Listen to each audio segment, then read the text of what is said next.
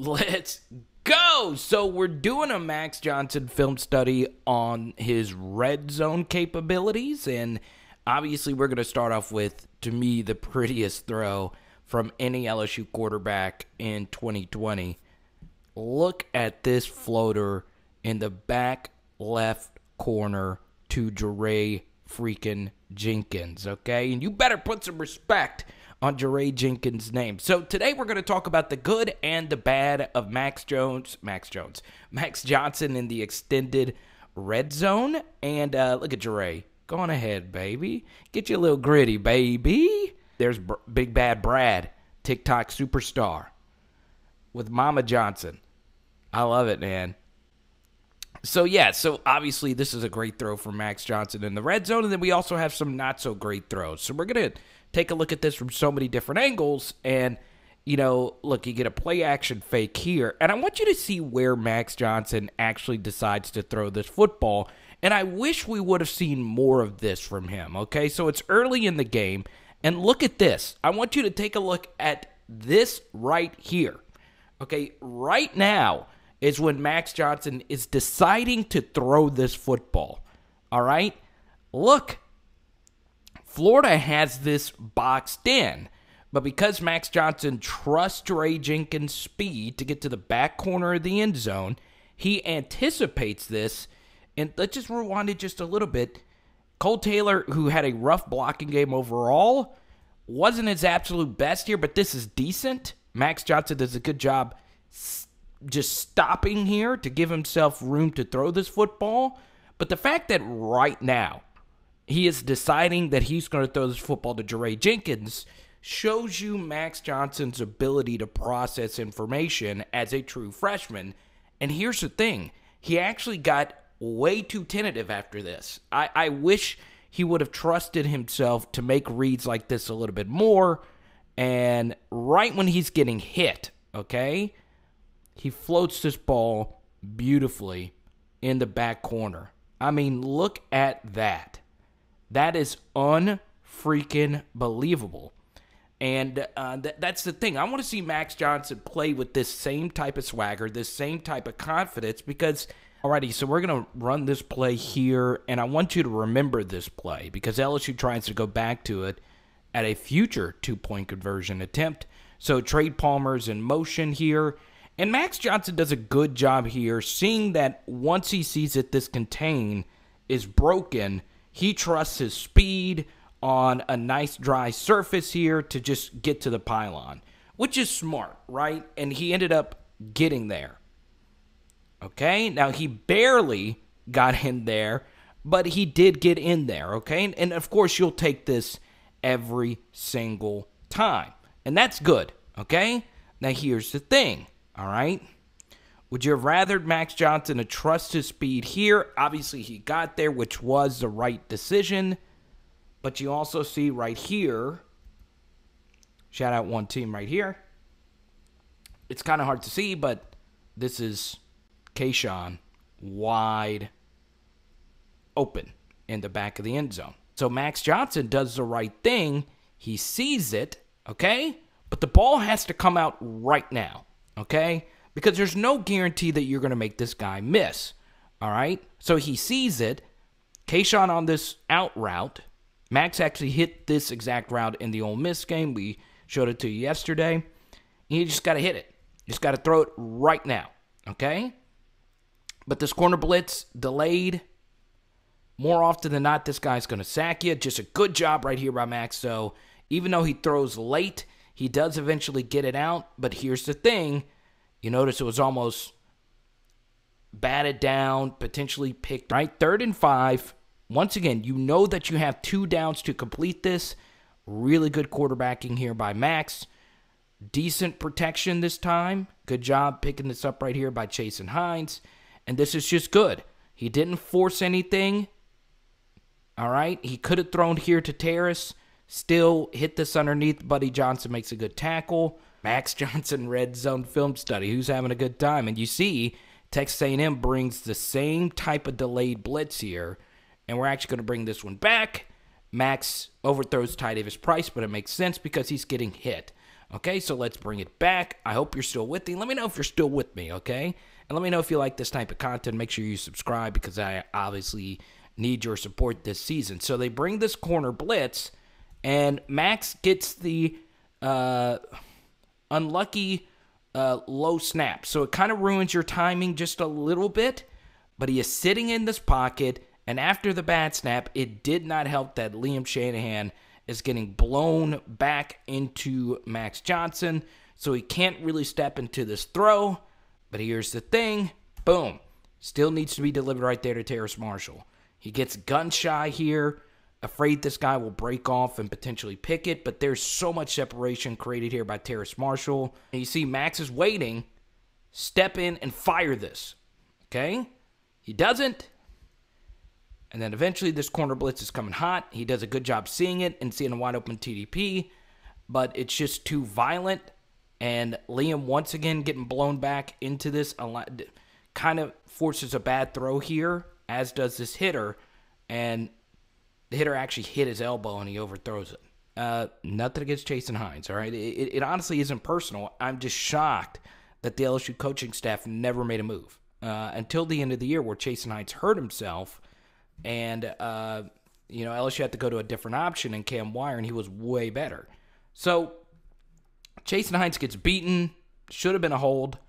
Um, either way, even if you're getting beat right here, you you you still want to step into this, make this guy miss, and step up into this space. This is the last thing we want right here. Is this mechanics are all off, and Max had been getting killed just in the little bit he'd been playing. He took some really hard hits, so that kind of sinks in your subjective. But I want you to see what happens to this throw. It is high, it's deflected, and it should have been picked. Okay? Okay? Good protection here, and this is really good quarterbacking here by Max Johnson. Okay? delivers this ball to Arik Gilbert basically in stride.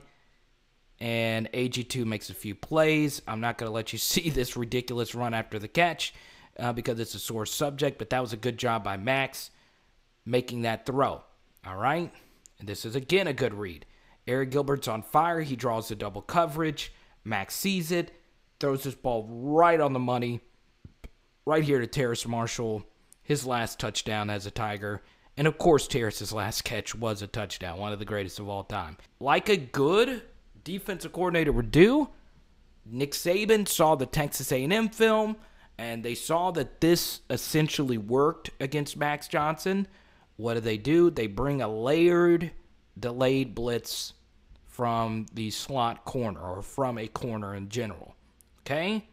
So let's see how we pick this up. And this guy falls back into coverage.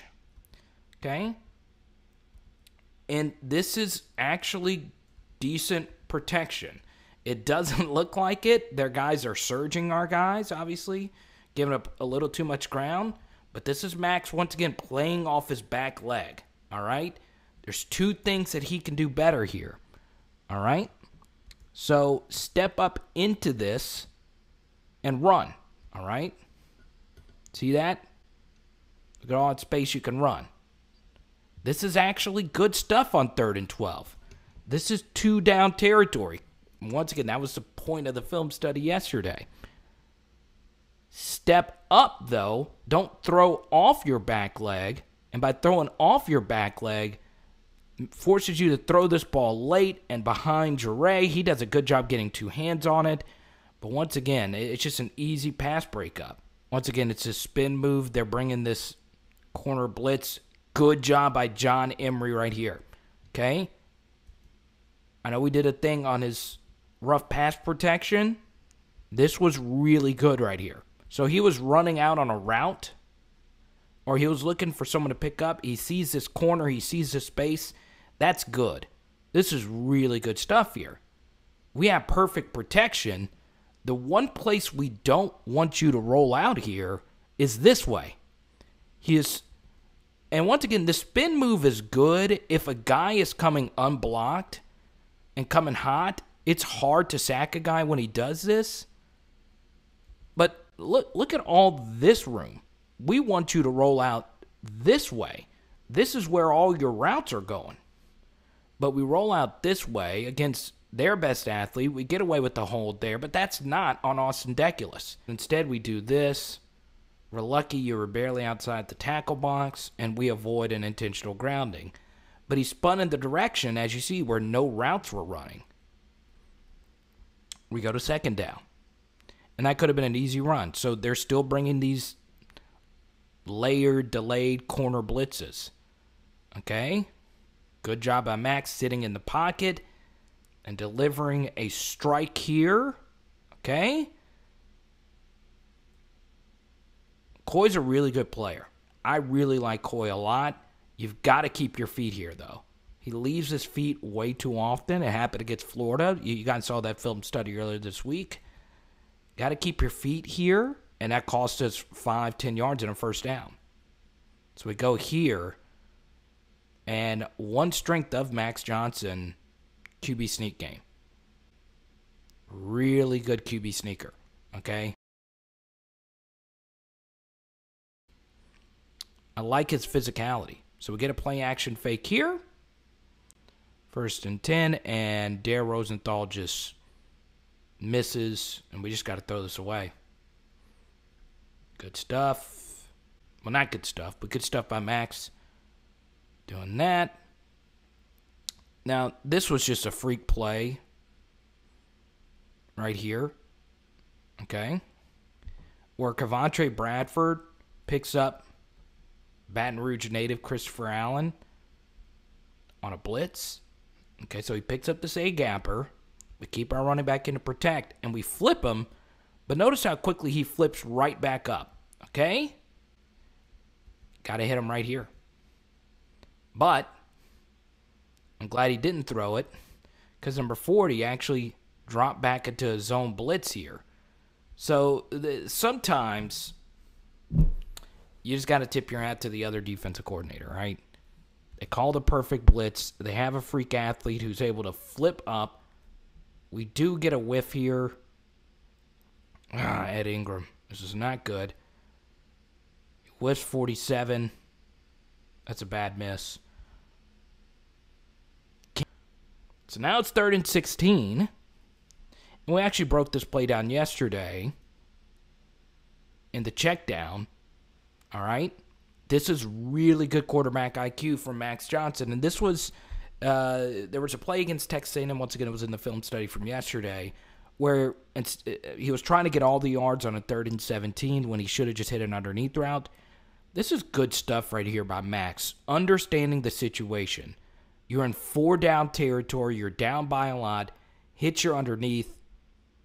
And Koy, uh, Koy. Kayshon was able to get down and and um, and make this a one yard situation. Okay, once again, good QB sneak here by Max. We pick up the first down, and now we're rolling. All right, so you know at this point that they're going to keep bringing these blitzes, and this time we pick it up really well, and we make a good throw here on first down. Good stuff.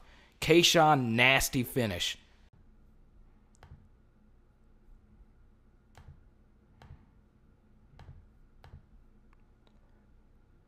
So we're going to quickly wrap this thing on up here with a few more plays to finish out this drive. Really quickly, you, you notice LSU with especially with Max at quarterback, they did a lot of these pre-snap drag type of motions here behind the line of scrimmage. Play action, you leave this guy unblocked. This is really good ball skills by Max Johnson. Once again, to make this guy miss and throw the ball to Arik Gilbert's outside good job by 40 to chase him down. We almost score here. Um, you know, LSU is going to have to make a philosophical, you know, choice here on whether or not they're going to do more of this. Sometimes it worked, sometimes it just simply didn't. Remember that one Auburn play we showed you. Uh, we got Kayshon wide open in the back of the end zone, and this time off this bootleg action, Okay? We got a little bit of a bobble here on the ball handling, which is unusual for Max. That's normally one of the better things, the ball handling aspect, the turnover or lack thereof of turnovers. So we get a little bit of a bobble, which really affects the timing of this play. But once again, we got an unblocked guy trying to get Arik Gilbert on this action right here. But really, one thing that LSU could see on film here is that for the second time, we get Kayshon open in the back of the end zone here with nobody back there, and that throw would have been there if Max would have just stopped and popped. Now, once again, that's really tough off a bobble, and this guy coming hot. Um, it's just tough. And you notice here, Max is on his back leg. We're almost giving up a sack. And the fact that he even got this off is amazing. They actually timed this blitz perfect. Good job, by Austin Deculus, letting the outside guy go free on a short route like this. But this is why I don't like fades because, uh, you know, there's just so much that needs to go right. And actually, this throw on the fade was not bad. It's just Patrick Surtain is just a really good football player. But when you come back here, you see, boom, John Trey's open right there. So, you know, it's just one of those things where I. Uh, Am I? Uh, I just don't like fades. Anyway, so yeah, uh, fades don't do them. Uh, this was fun. Uh, obviously, this was the Auburn, Alabama, and Texas A&M game. These were Max's first few games, and it's always kind of tough to get your rhythm when you aren't the starter. So what we're going to do is, obviously, we are going to look at more of the Florida game and obviously the Ole Miss game which was Max's roughest red zone game, and see how he could potentially grow from those games. He was just a true freshman in this game, oftentimes throwing the football to other true freshmen. So, obviously, there is so much to like and learn and see from Max Johnson, but there's also a lot of room to grow. Now, obviously, uh, comment down below. Do you think Max Johnson can be an All SEC quarterback, or will he be an All SEC All SEC quarterback next season? And uh, yeah, let's let's get excited. I'm starting to get more excited about Max Johnson being the for sure QB one. It is Power Hour LSU. Boom! I think we're doing burgers tonight. Let's go.